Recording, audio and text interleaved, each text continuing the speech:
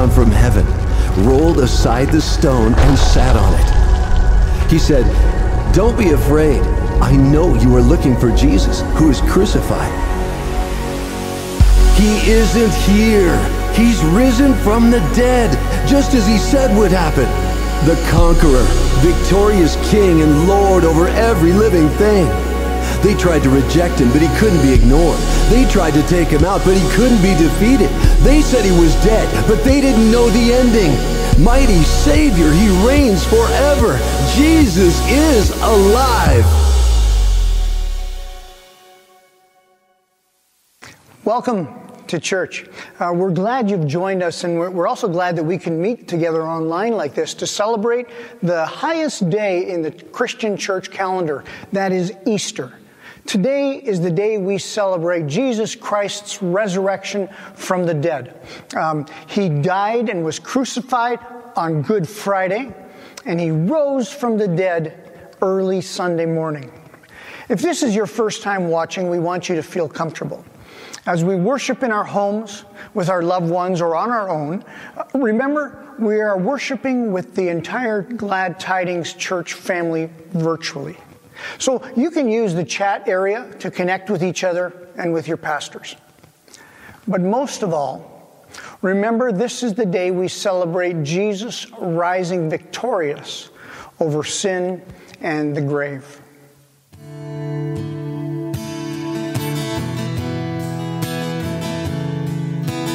on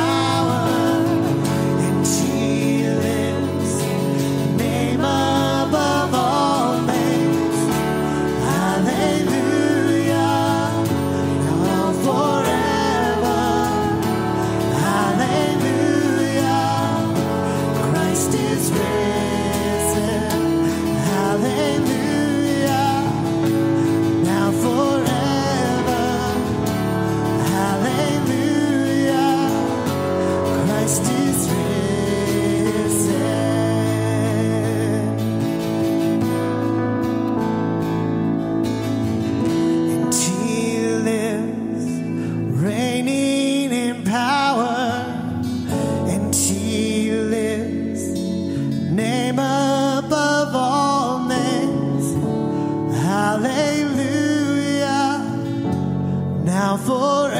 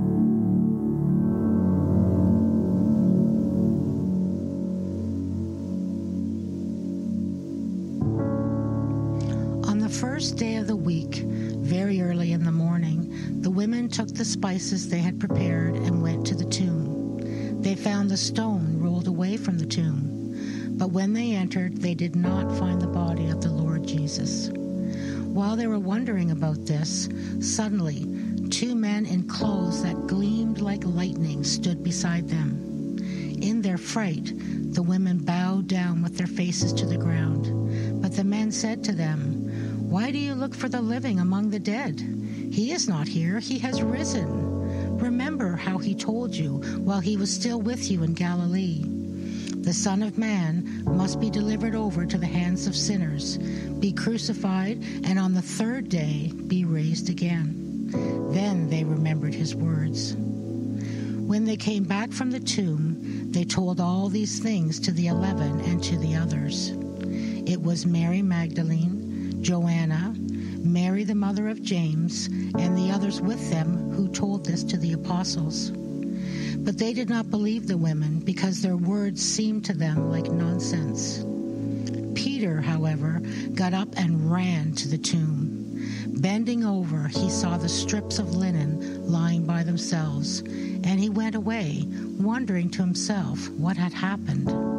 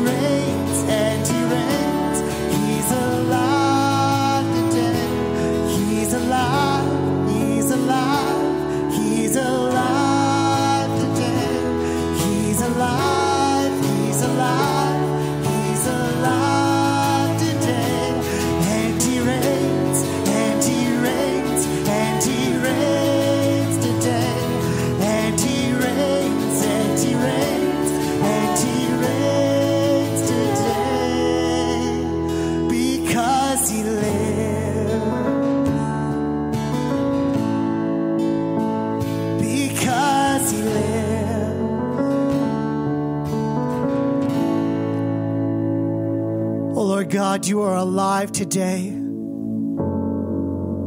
Lord God, we serve a risen Savior. We can celebrate, Lord God.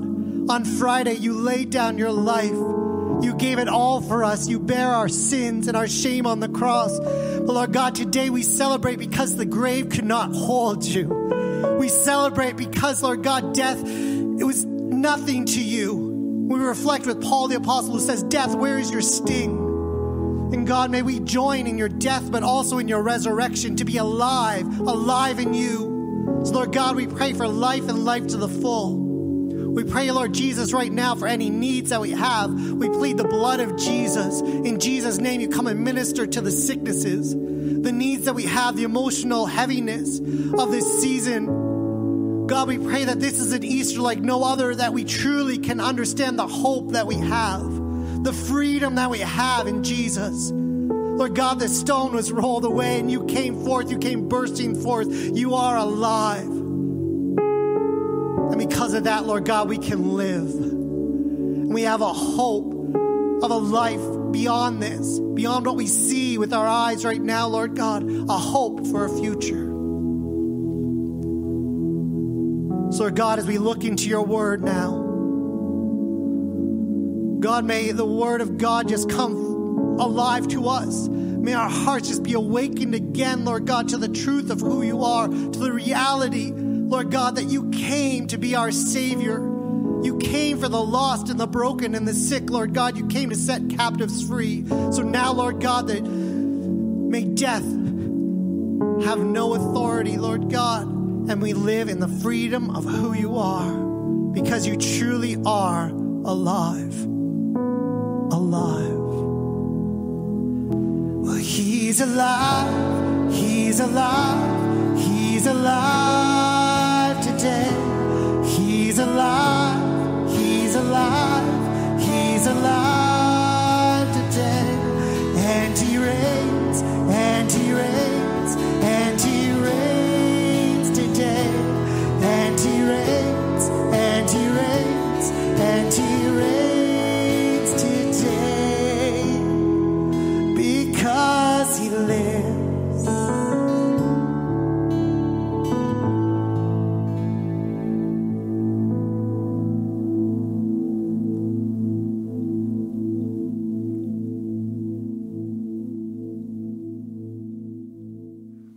I grew up in Montreal.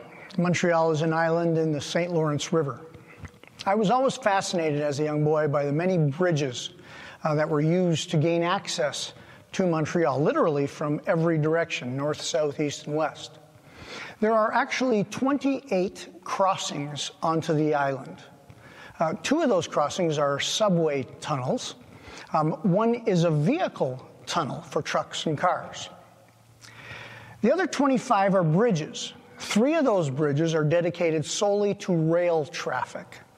Uh, one is shared rail and uh, vehicles. And the 21 that are left are either just vehicle or vehicle and pedestrian uh, bridges. So there's quite a few bridges. My favorite bridge was the Jacques Cartier Bridge. Uh, probably because it was the one that I traveled on most as a child. It spans the St. Lawrence River. It goes from Montreal to St. Helen's Island. And that's where the Expo 67 World's Fair was. So if ever we wanted to go there, or when we went to La Ronde, the amusement park, or when we traveled to our church Sunday school picnic that we had every year, um, that also was on St. Helen's Island. So we had to take the Jacques Cartier Bridge. This bridge was impressive, uh, a big structure. And, and I remember when I was a little kid, I remember one day when we were crossing it, I asked my dad, what were all those green metal things above the bridge? Um, what was that all about? And my dad told me that those are the, the superstructure that supports the bridge. And I asked, okay, so how could the support be above the bridge? You know, I, I at least knew that you can't you know, support it from above. You got to support it from underneath. And he explained to me the physics of a cantilevered um, expansion bridge and, and just how it works. And, uh, and they basically are supported by above. The roadway is supported from above. Now, the Oxford Dictionary defines a bridge as a structure that is built over a road, a railway, a river, etc., so that people, vehicles, etc., can cross from one side to the other side. Bridges can be simple or complex, supported entirely from below, like the permanent link that um, joins the mainland to Prince Edward Island, or uh, from above, in the case of the Jacques Cartier Bridge, or even the world famous Golden Gate Bridge in San Francisco. Now, this morning I want to speak to you about another bridge. Not a bridge that crosses over a river connecting two pieces of land, but a bridge that crosses a large divide, a chasm, um, that without the bridge would be impossible to cross. The chasm is so large and vast that there really is no way for anyone to go from one side to the other side. The chasm is what lies between a holy God in heaven and sinful people here on earth. The story of the chasm starts at the beginning of the Bible, where we read of God creating all that exists on earth and in the heavens. And on this one small rock that's flying around a star in the Milky Way, he put two people, Adam and Eve. The garden they lived in was literally perfect. There was plenty of food, nothing to fear, and they had a relationship with God. There was love and peace, trust and intimacy. But the chasm was created one day that the relationship between God and people was broken. It was ruined by Adam and Eve's disobedience, by their pride, by what we now call sin. Adam and Eve disobeyed God, and in doing so, caused a separation between people and God. And their disobedience caused every single human born from that moment on to be born with the same separation problem, the same sin problem, the same chasm that, that was fixed between people and God so that no one could cross eh, from one side to the other. It was larger than even the Grand Canyon. As people died, they died physically and spiritually. As more and more people were born, they were all, uh, they were all faced with the same sin problem. Everyone was born sinful, and sin was the very thing that made this chasm so uncrossable. It isolated people from God and caused them to die. Die on this death on this earth came as a result of sin. Paul says in Romans 6:23, the wages of sin is death. Uh, so not only the physical death that causes our bodies to wear out, but worse, the spiritual death that separated people from God forever. You see, all people were created for eternity, to live forever. As a result of sin, the chasm, people would die an eternal death, separated from God in eternal torment we call hell. As people tried to span the gap before death, they came to realize that nothing was possible. Uh, nothing, nothing was strong enough to get them across. Nothing was long enough to get them across. Nothing was secure enough to help them cross from where they were to where God was. And, and people go on trying to bridge the chasm in various ways. One of the most impactful things uh, or lessons actually I learned um, from the many history courses that I took in high school and at college level uh, was this that uh, in general, nation after nation, leader after leader, person after person learns nothing from history. People witness others trying to make their way to, to, bridge that chasm on their own and failing, yet they try even harder than the last person, thinking that they can do it. They can reach the other side and have a relationship with God, but no one has. They try all sorts of things. One of the ways that people try to reach God is through religion. There might, um, there possibly is. I, I, I, don't know, but I would, I would guess there's probably as many religions as there are countries in the world, and maybe even actually more than that. Religion or religious thinking is this I can bridge the gap between me and God by trying to please Him. So people do all kinds of religious things. They recite prayers, they fast, they light candles, they practice ceremonial rites. But the problem is, the Bible tells us that God isn't interested in our religious activities. He is interested in our heart. 1 Samuel 15, verses 22 to 23 is a fascinating story, and you, you could read the whole thing in context. But, but Samuel is talking to the king David, and he says this What is more pleasing to the Lord? Your burnt offerings and sacrifices, or your obedience to his voice? Listen, obedience is better than sacrifice, and submission is better than offering the fat of rams. Rebellion is as sinful as witchcraft, and stubbornness as bad as worshiping idols. So you see this juxtaposition of, of rites, religious ceremonies, and heart. God is interested in the heart. Religious activities, in and of themselves, do nothing to bridge the gap between people and God because we are all sinners. This failure of religion to bridge the gap between us and God is made real to us when we, when we read of very religious men and women looking righteous on the outside, still having terrible sin behavior and attitudes on the inside. Being religious does nothing to cross the great divide between us and God.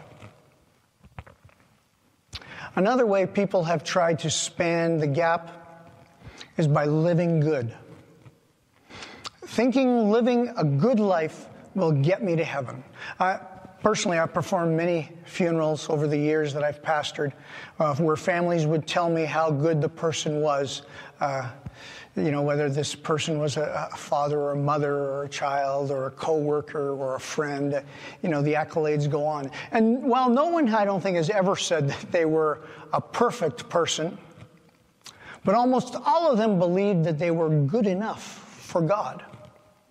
God would overlook any negatives because of all the positives that that person had in life.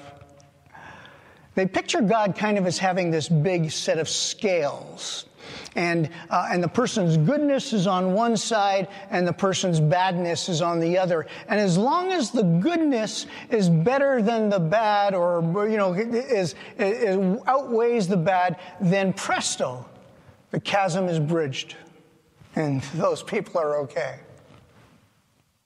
I found an interesting quote um, about what one person said about this. Let me read it to you.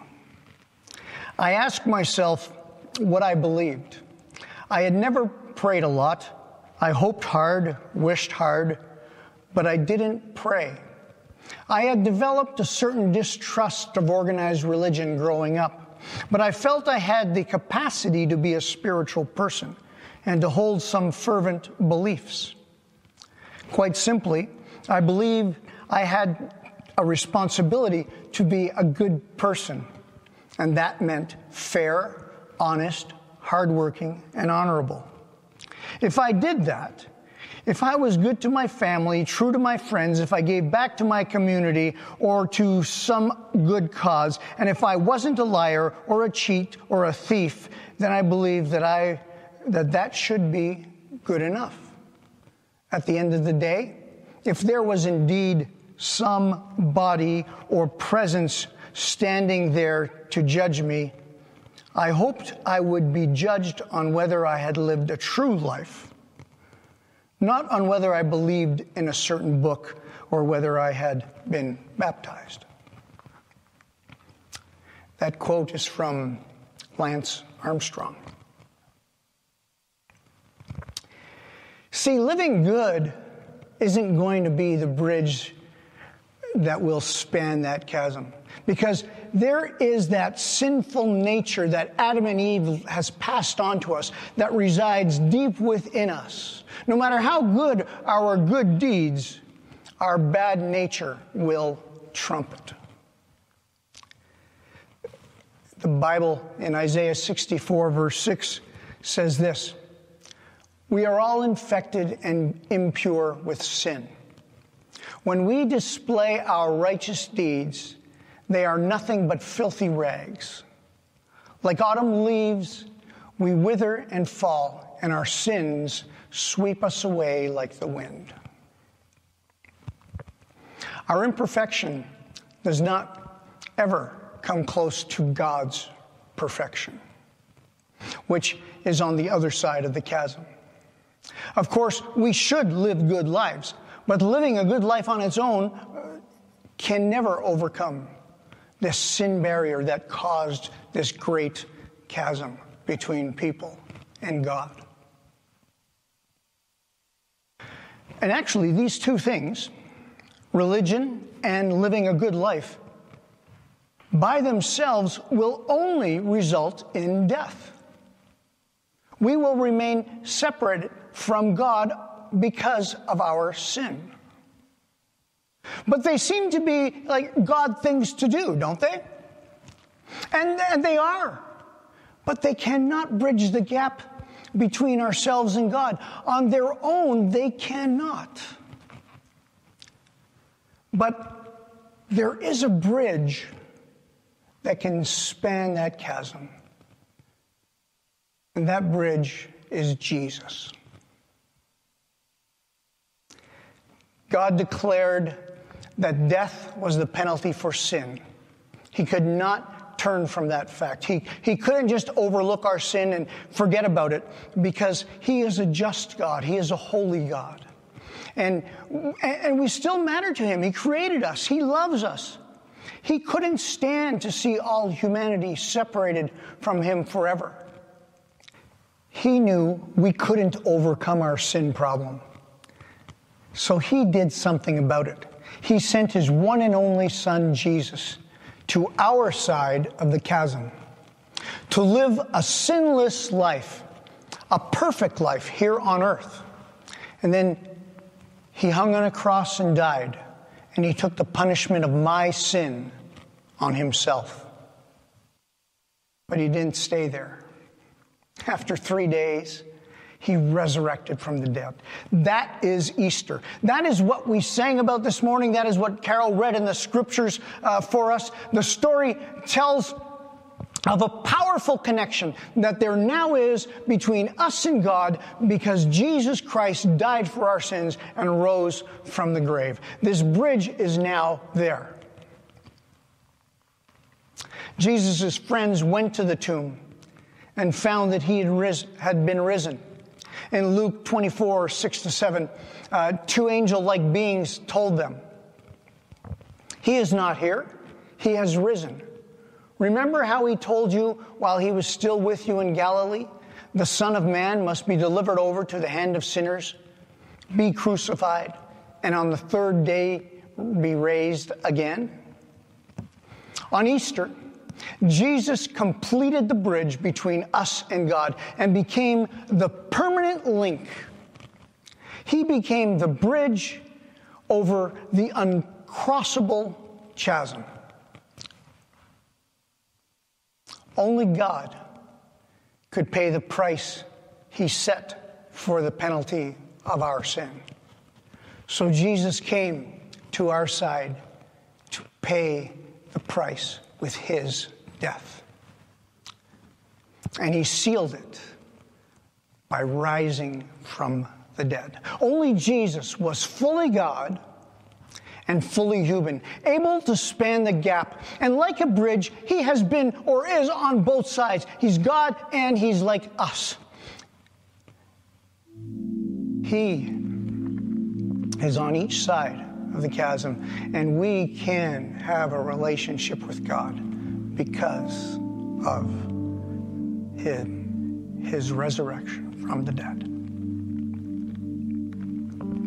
By rising from the dead, Jesus Christ demonstrated that he had cleansed the guilt of our past, and he is able to help us in our present lives. His, resurrect, his resurrection assures us that our future is safe and secure.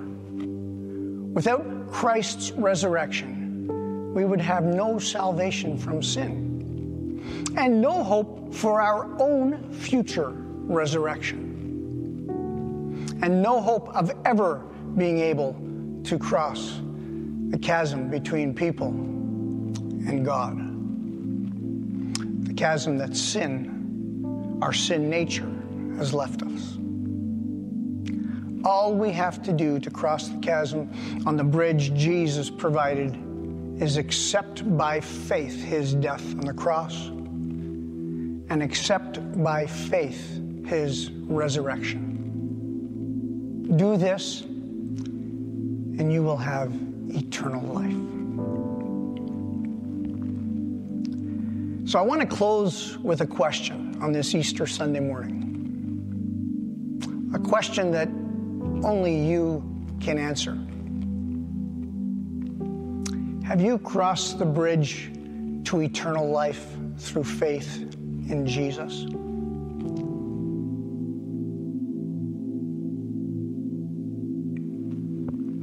If you have never accepted Jesus and his sacrifice for you, taking your sin on him to become the bridge that makes you be able to have a relationship with God, I would like to give you a chance to do so. I want to pray for you.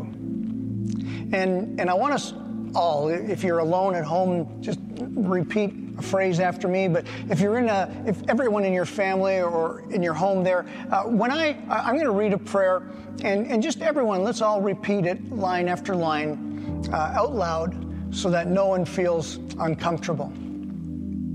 But if you've never accepted Jesus Christ and his death on the cross for your sin and his resurrection victorious over death, do that now as we pray. Dear Lord Jesus, I know I am a sinner. And I ask for your forgiveness. I believe you died for my sins. And you rose from the dead. I will trust and follow you as my Lord and Savior. Guide my life that I may live for you. In Jesus' name, amen.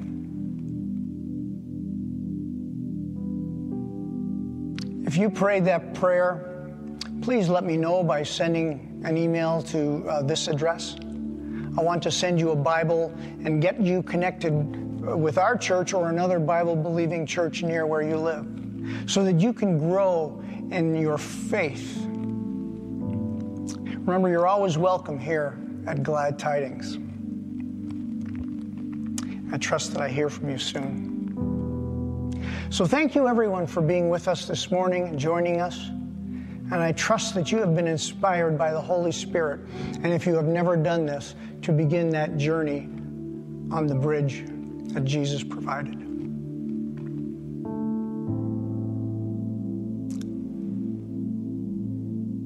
May the Lord bless you and keep you. May the Lord make his face to shine on you and be gracious to you. And may the Lord turn his face towards you and give you peace. Amen.